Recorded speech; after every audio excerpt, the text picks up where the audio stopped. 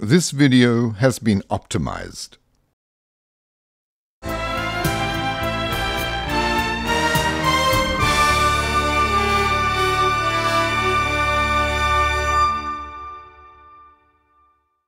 Holiday Educational Log Number 42, Bin 4, Section 9.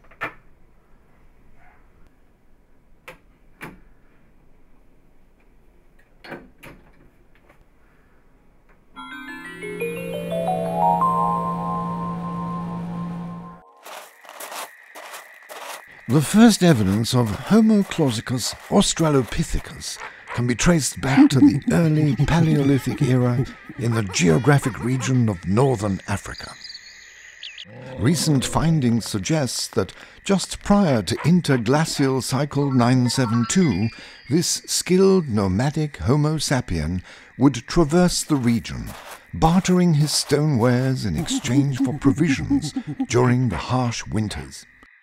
As word spread, cunning hominid children would set out bowls of sweet marsupial spleens and rich bovine milk to lure this elusive winter figure in hopes that they may be granted a small stone tool, likely a club or an awl.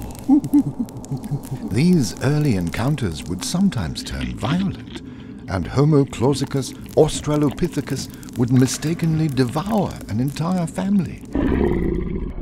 Scientific evidence suggests that early Homo clausicus was a wandering, amiable craftsman of sorts, a genetic skill clearly passed down to the more modern hominid, Claus. Over time, this ritual has evolved into a civilized ceremony that many of us enjoy each year on the eve of the 25th of December. The careful placement of nourishment to entice and reward the jolly holiday winter figure whom we now call Santa Claus. So there you are, a little known holiday fact to induce a bit of cheer. It's nice to know these things. Now you're all sorted out.